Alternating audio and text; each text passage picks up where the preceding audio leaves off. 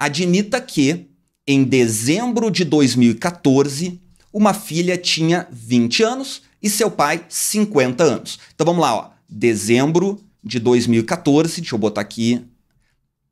A filha tinha 20 anos e o pai tinha 50 anos.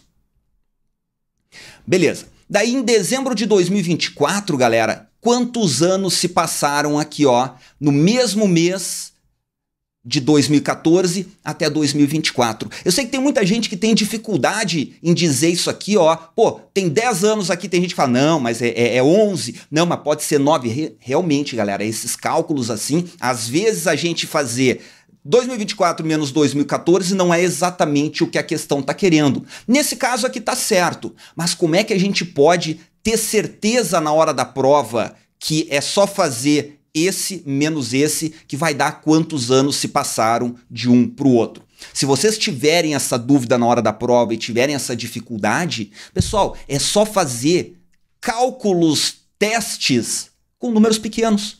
Por exemplo, aqui, ó, eu sei que, vamos botar assim, ó, botar de 12, né, de dezembro de 2014 até dezembro de 2015. Pô, esse aqui é fácil, eu sei que daqui para cá passou um ano só. Passou um ano. E se eu fizer aqui agora para 12 de 2016? Pô, esse é fácil também, ó. Eu sei que daqui para cá passaram-se dois anos.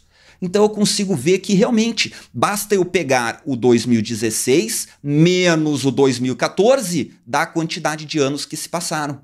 Se eu pegar o 2015 menos o 2014, vai dar exatamente a quantidade de anos que se passaram nesse intervalo. Então, já que para esses números pequenos valeu essa regra, para esses números aqui também vai valer. Então, eu tenho certeza absoluta que daqui para cá passaram-se 10 anos daqui para cá. Beleza? Eu sei que muita gente faria rapidamente esse cálculo também, mas quem ficou com alguma dúvida é só fazer os cálculos com valores menores. Beleza, se passaram-se 10 anos, a filha vai ter quantos anos? Vamos botar aqui, ó. Daqui a 10 anos a filha tinha 20 e vai ter 30. É só somar 10 anos, são 10 aniversários no meio do caminho. E o pai?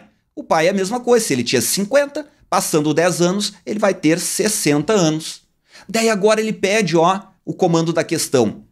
A razão, galera, a razão é uma coisa que o Enem adora muito, pessoal. Razão é uma coisa que o Enem adora muito. E o que, que é razão? É uma divisão. É uma divisão de alguma coisa que vai em cima, dividido por alguma coisa que vai embaixo.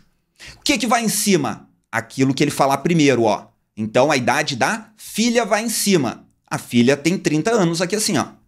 E aí embaixo é o que ele falar depois. A do pai é 60. Deixa eu arrumar esse 30 aqui. É 60. Então, 30 sobre 60 é a razão que ele está pedindo. Dá para cortar o zero. 3 sobre 6 é um meio. Gabarito, letra bravo.